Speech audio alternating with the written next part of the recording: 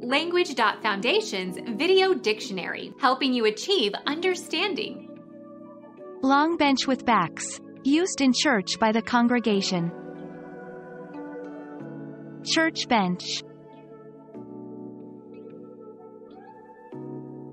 Become our student and get access to effective and free educational materials.